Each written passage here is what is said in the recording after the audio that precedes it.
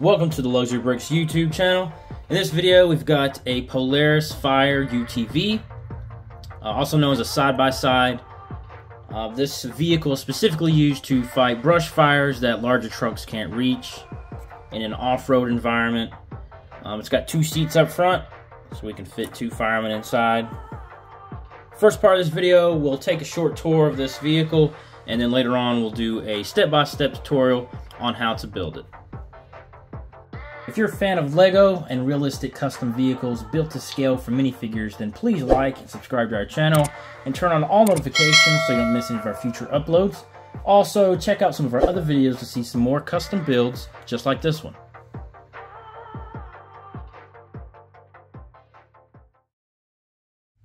So we'll just start up front and work our way around. Up front is the a push bar, so if there's some overgrowth, or some bushes they need to drive through. This will protect the front engine area.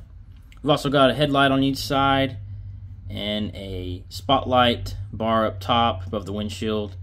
And there's also a red LED light up top and there's an air conditioner. So we've got a climate controlled cab for the fireman. On the side is a door we can open and close. And there's a large axe here mounted on a bracket. Um, there's two compartments here we can open up. And in this first one, we've got a first aid bag. And then in the second one is a, it's basically a like a backpack for the firemen, but it is a water container. So we can fill this up with water and the firemen can walk around. This is kind of what it would look like. Got the little uh, hose in his hand so he can walk around with his little water packet and spray grassy areas that are burning.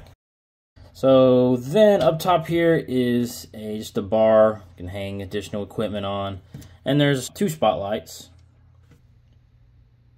And the other side's pretty much the exact same.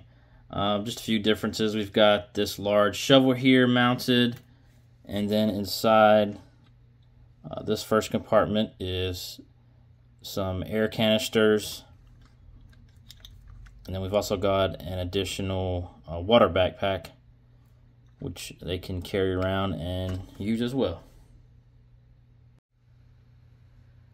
At the back of the vehicle, we've got a fire extinguisher mounted here. We've also got uh, brake lights, reverse lights, and on these top corners are some red lights that would flash just like a normal fire truck. We'll get a better angle here. This is the water tank. That's why we've got two axles at the back, and that's to support the weight of the water, which would be rather heavy. Up top is our water hose, which is currently wound up. And another cool feature with the back here is we've got a backboard. So if we need to evacuate someone injured, we can slide this up top and our fireman would lock it in place. Put our little injured person up here.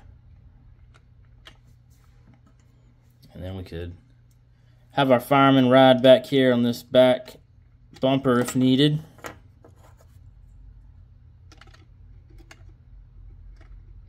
And he's just not going to stand. There he goes. Next, we'll take a look at the driver's compartment. So we'll pull off this roof piece. And inside we've got our two seats for our fireman, Got a steering wheel and some radio controls here for the passenger. And then pop off his windshield. Okay, can't. But if you look back behind the seat here is another axe mounted on this back wall. So here we've got a small forest fire. We can roll up with our fire UTV. Pull out our hose. Our firemen put up the fire.